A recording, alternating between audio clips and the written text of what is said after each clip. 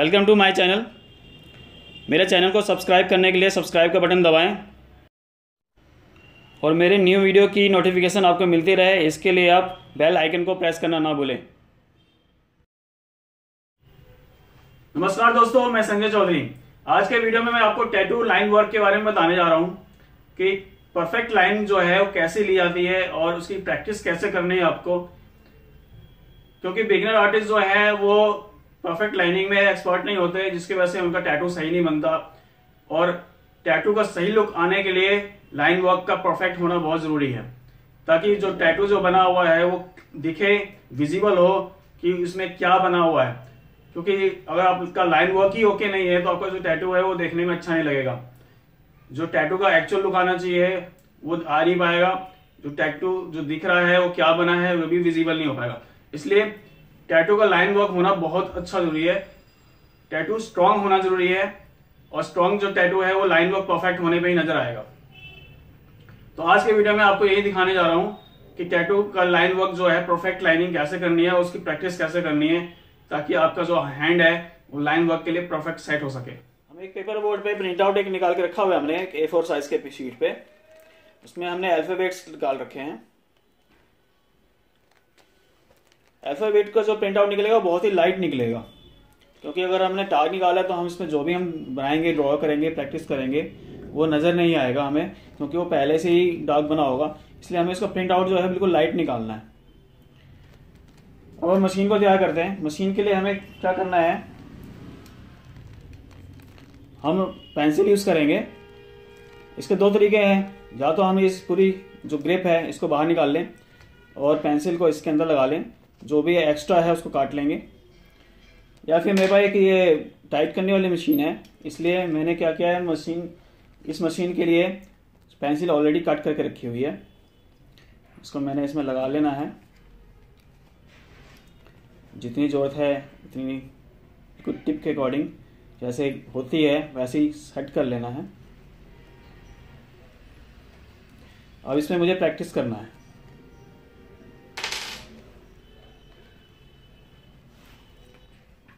मैं पहले वीडियोस में बता रखा हूँ कि मैं मशीन को कैसे होल्ड करना होता है 45 डिग्री पे एंगल पे और हमें इसमें आउटलाइनिंग की प्रैक्टिस करनी है। हमें पेंसिल मैंने इसलिए यूज़ किया है क्योंकि इससे तो हमें आदत हो जाएगी हमें मशीन को होल्ड करने की और चलाने की। डायरेक्ट पेंसिल से यूज़ करेंगे तो, तो एक स्केच की तरह यूज़ हो जाएगा लेकिन हमें मशीन पे प्रैक्टिस करनी है कि मशीन का वेट भी हमें उसको महसूस करना है। तो हमने मशीन को इस पर चलाना है। सेम वैसे ही ड्रॉ करना है। कोई फास्ट ड्रॉ नहीं करना, बिल्कुल धीरे धीरे बनाना है। प्रॉपर आउटलाइनिंग चलानी है।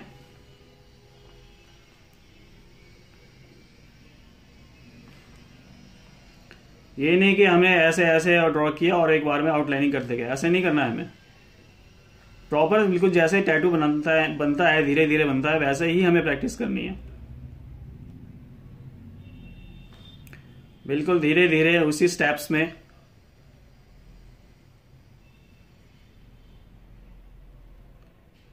अल्फ़ाबेट को मैंने इसलिए चूज़ किया कि अल्फ़ाबेट में हर तरह की लाइंस कर्व्स होती हैं और प्रैक्टिस करने के लिए बहुत अच्छा रहेगा।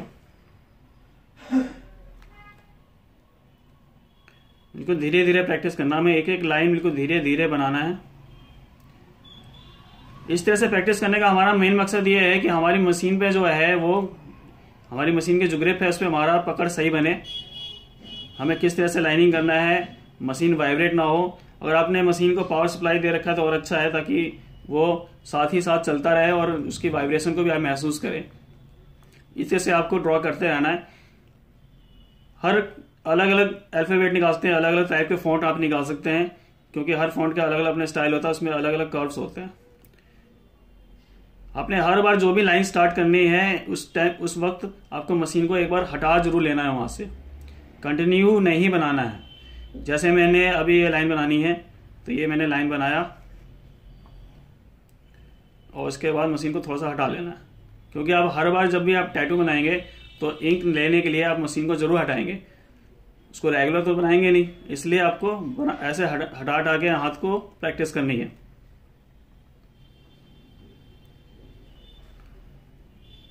आप इसमें चाहें तो साथ साथ शेडिंग भी कर सकते हैं।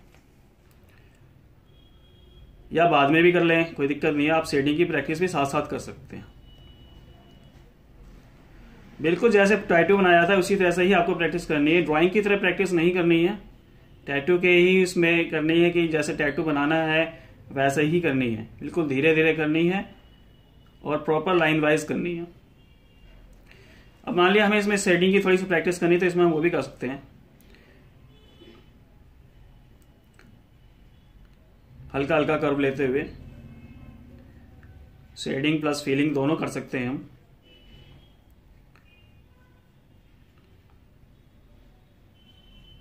लाइन में हमें मशीन सीधी चलानी होती है और शेडिंग में हमें जो मशीन है उसको ऐसे चलानी होती है।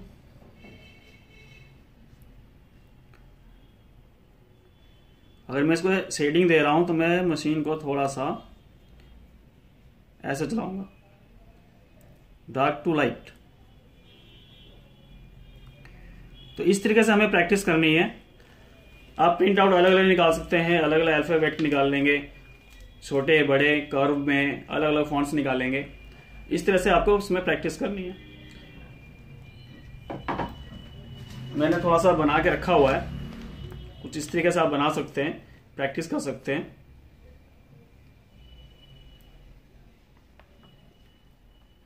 मैंने इसमें हल्की सी सेटिंग भी दे रखी है, कहीं कहीं पे। तो आपको इस तरीके से प्रैक्टिस करनी है। आपको लाइनिंग की और कर्व की भी बिल्कुल सही से प्रैक्टिस करनी है। जैसे कि हम लाइन बना रहे हैं। ऊपर से भी हमें प्रैक्टिस करनी है, चला के। और नीचे से भी प्रैक्टिस करनी है। क्योंकि हमें हर तरह से चलाना पड़ सकता है।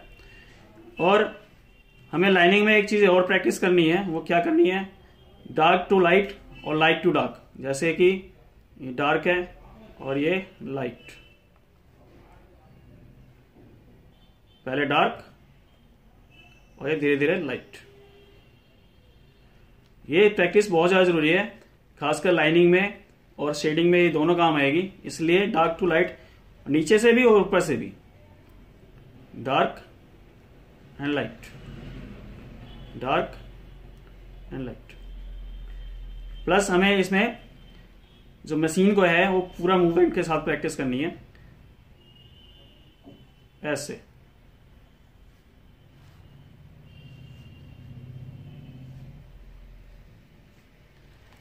कर्व लाइन की भी प्रैक्टिस करनी है।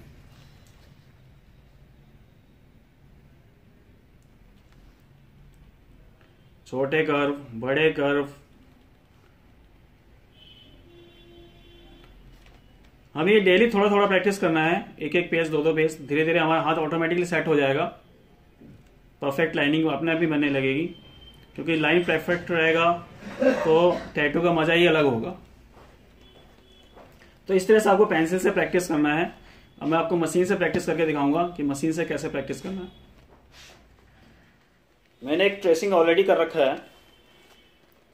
जनरली लोग क्या करते हैं, इसको फ्लैट पे प्रैक्टिस करते हैं।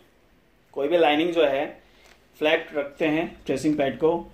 जो स्किन पैड आर्टिफिशियल होता है इसको। जनरली क्या करते हैं फ्लैट पे रख के प्रैक्टिस करते हैं। देखिए फ्लैट पे बनाना बहुत ईजी होता है। क्योंकि हमें फ्लैट पे नहीं प्रैक्टिस करना। हमें किसी की बॉडी पे जब बनाना होता है तो बॉडी क्या होता है कर्व होती है। स्लोप होता है, चारों तरफ़ से। कर्व बॉडी होती है। सीधी बॉडी नहीं होती है। तो हमें उस हिसाब से प्रैक्टिस करना है तो उसके लिए हम एक कार्डबोर्ड का एक कर्व मॉडल बनाएँगे, फिर उस पर प्रैक्टिस करेंगे। मेरे पास ये कार्डबोर्ड पड़ा है वेस्ट है। अब इसको हम फाड़ के, खराब करके इसको एक कर्व मॉडल बनाएँगे।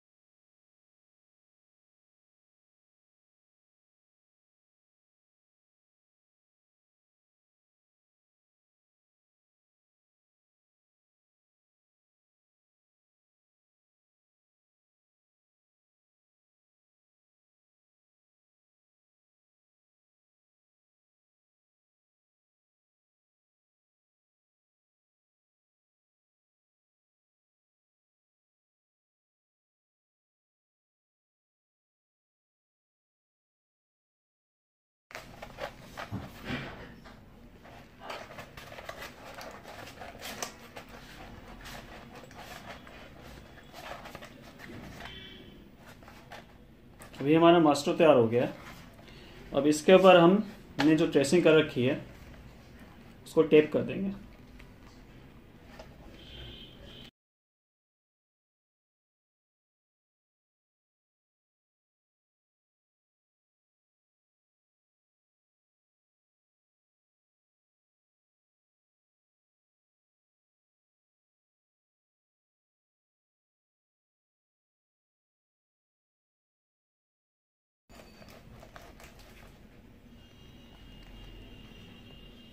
अब इस पे हमें प्रैक्टिस करनी है।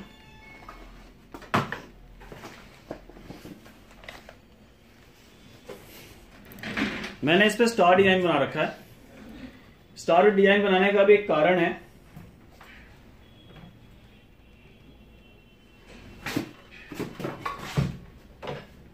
वो ये कि जो स्टार होता है, उसमें हर तरह की लाइंस होती हैं। एक ही एंगल से हमें टेपर लाइन सीधी लाइन सीधी लाइन भी मिल जाएगी, टेढ़ी लाइन भी मिल जाएगी, हर डिग्री की लाइंस मिल जाएँगी।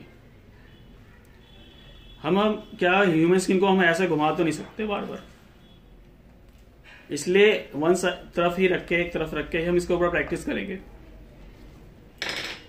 अब टैटू बनाना स्टार्ट करते हैं। हमें जो ये शार्प एरिया है, जो कॉर्नर होता है, ये हमें ध्यान रखना है कि से शुरुआत करनी इसलिए हम कभी भी इस तरह के जो कॉर्नर एरियाज़ होते हैं, वो हमें सबसे लास्ट में मान लेना तो इसलिए हमें वन साइड से यूज़ करना है कॉर्नर से।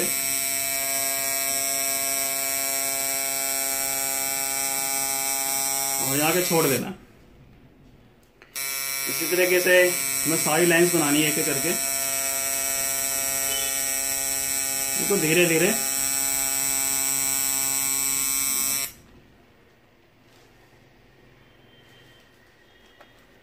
इसको जब पहुँचना भी है तो बस ऐसे पहुँचना है। हम कभी भी कोई आउटलाइनिंग बनाएँगे, चाहे स्किन पे हो या हम प्रैक्टिस सब कर रहे हैं तो हमें आउटलाइनिंग जो है, वो प्रॉपर जो है रगड़ के नहीं साफ़ करना है। हमें बिल्कुल आराम से उसको साफ़ करना है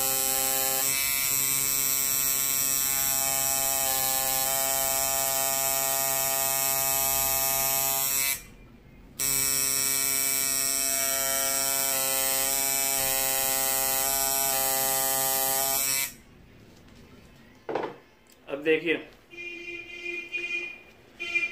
हम जब भी कोई लाइनिंग बनाएँगे तो हमें जो इंक जो होता है पिगमेंट जो होता है, वो ऐसे साफ़ करना होता है स्किन के ऊपर। अगर हम ऐसे इसको साफ़ कर देंगे रगड़ रगड़ के तो क्या होगा? एक तो इंक फैलेगी। दूसरा क्या होगा? जो उसके अंदर हमारी जो बॉडी के अंदर इंक गई है, वो भी साफ़ हो जाएगा। थोड़ा बहुत रह जाएगा, ज़्यादातर साफ़ हो जाएगा। तो हम जो भी लाइन वर्क करेंगे, उसमें हमें जो टिश्यू है या जो भी आप टावल यूज़ करते हैं साफ़ करने के लिए, वो हमें ऐसे यूज़ करना है साफ़ करने के लिए, रगड़ के यूज़ नहीं करना। नहीं तो लाइनिंग जो है वो लाइट हो जाएगी। तो इस तरीके से हमें प्रैक्टिस करनी है।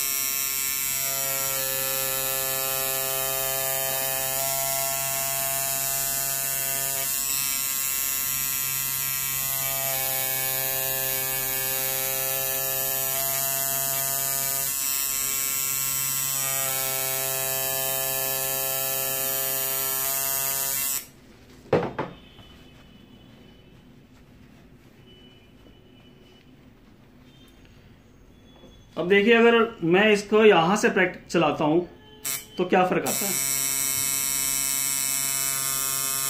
अगर मैं कॉर्नर से ही पहले चलाता हूँ तो क्या फ़र्क आता है?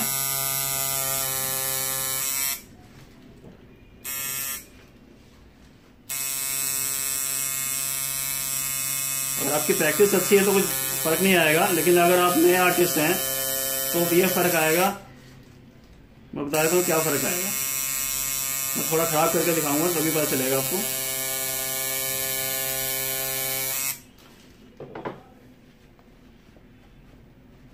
और आप देखिए, अगर मैं यहाँ से शुरुआत करता हूँ तो क्या फ़र्क आया? यहाँ पे बिल्कुल कॉर्नर जो है, बिल्कुल नुकीला आ रहा है, बिल्कुल शार्प आया है। लेकिन यहाँ का जो कॉर्नर है, वो खराब हो चुका है। क्योंकि ये रॉन्ग वे है किसी शार्प कॉर्नर को यूज़ करने का लाइनिंग करने का। इसलिए जब आप कॉर्नर्स को यूज़ कर रहे हैं तो कॉर्नर हमेशा लास्ट में होना चाहिए ताकि वो बिल्कुल शार्प आए। उसकी जो एंडिंग है, वो हमेशा लास्ट होनी चाहिए। तो इस तरीके से आपको आउटलाइनिंग की प्रैक्टिस करनी है। आप इसको प्रैक्टिस करें और आउटलाइनिंग बिल्कुल परफेक्ट आएगी। इस बात की गारंटी मैं देता हूँ।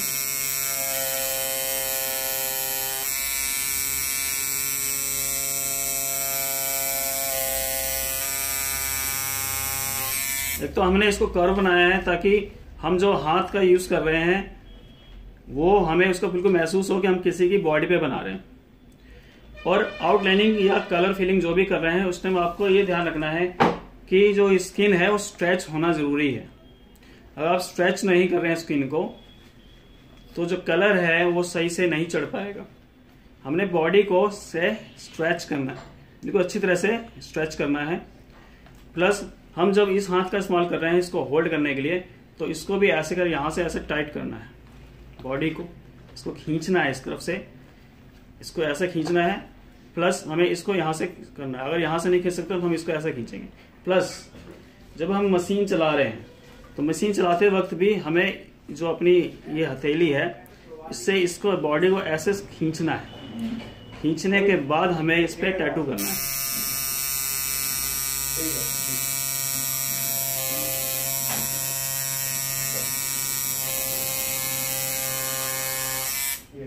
आपका जुगाड़ तो बनाने आने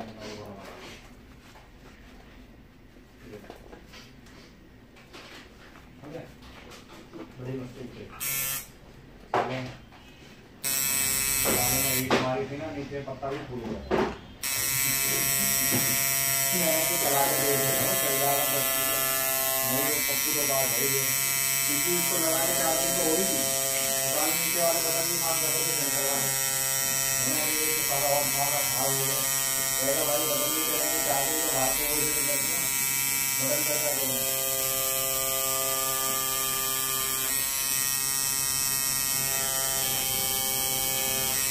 बोला लोगों को बताने सारी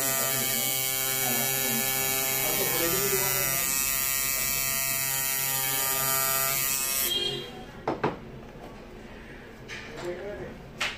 तो देखिए दोस्तों, इस तरीके से आपको लाइनिंग की प्रैक्टिस करनी है। इस तरह से आप बार बार प्रैक्टिस करते रहे स्किन पैड पे। ह्यूमन स्किन पे प्रैक्टिस करने से पहले आपको स्किन पैड पे पेपर पे, इस तरीके से मशीन की प्रैक्टिस करनी है। जब आपका लाइन परफेक्ट हो जाए तो आप ह्यूमन स्किन पे ट्राई करें। डायरेक्ट आप अगर ह्यूमन स्किन पे ट्राई करेंगे तो जो टैटू है वो खराब हो जाएगा, फिर आपका क्लाइंट खराब होंगे। तो ये तो अच्छा नहीं होगा। इसलिए टैटू की पहले प्रैक्टिस कर लें लाइनिंग पूरा परफेक्ट हो जाए आपका, उसके बाद आप टैटू बनाना स्टार्ट करें। तो दोस्तों, मेरा ये वीडियो आपको पसंद आया होगा, मेरे चैनल को सब्सक्राइब ज़रूर करें, और खासकर बिगनर आर्टिस्ट ज़रूर सब्सक्राइब करें, ताकि उनको कुछ सीखने को मिले मेरे चैनल से। और अगर आप कुछ सीखते हैं तो मुझे बहुत खुशी होगी इस बात की, कि मेरा ज्ञान किसी काम आया। और बेल आइकन को प्रेस करना ना भूलें प्लस कमेंट में ज़रूर लिखें कि आप मेरे वीडियोस में और क्या देखना चाहते हैं, जो हो सकता है मैंने अभी नहीं दिखाया प्रीवियस वीडियोस में तो आगे आप वीडियोस में क्या देखना चाहते हैं, इसके बारे में मुझे ज़रूर कमेंट करें। प्लस, मेरे वीडियोस को शेयर ज़रूर करें, क्योंकि जो बिगनर आर्टिस्ट हैं, उनको मेरे वीडियोस देखने में काफ़ी कुछ सीखने में मिलेगा। तो मेरे चैनल को सब्सक्राइब ज़रूर करें।